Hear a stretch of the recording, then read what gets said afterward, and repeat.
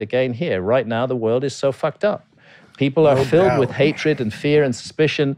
People are people are fighting and murdering one another. People are invading each other's countries. We're we're still locked into this tribal mentality of the past, yeah. uh, and failing to recognize that we're all one human creature. That we're all brothers and sisters, and that if we were to cooperate on every challenge that mankind faces, we would be able to solve all of those challenges, including the Taurid meteor stream. That's facts. But we're not cooperating. We're we're we're we're filled with division.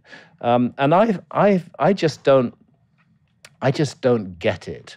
Uh, why we're still like this. Mm-hmm. Um, I'm, I love the richness and diversity of human culture. That there are many different cultures, but mm-hmm. I do not, I do not like nationalism, and I do not like patriotism, and these seem to me to be bankrupt ideas. Why should I be especially loyal to a particular country and government because by accident I was born there. Merit? Why should I be proud of my ancestors? They did whatever they did, but I didn't do it. Yeah. Why should I, I? should only be proud of my own achievements.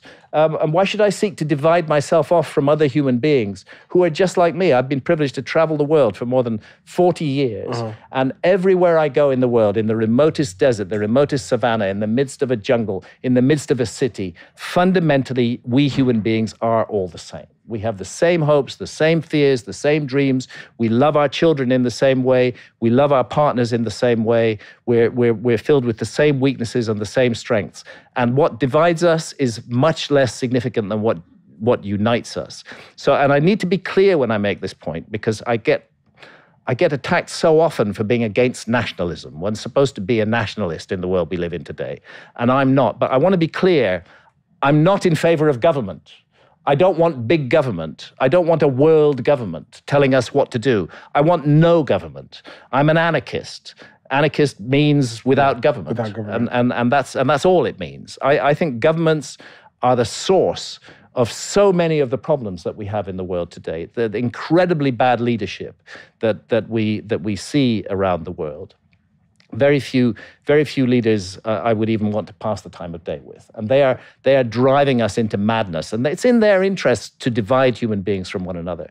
So I would like to see a world where we recognize the beautiful variety of cultural difference, uh-huh. but we don't claim that our culture is superior then, to another culture or that that culture is inferior to our. We don't we don't make those claims. We recognize the beauty of the diversity, uh, and we give our loyalty to the human family, not to a particular artificial construct called a nation.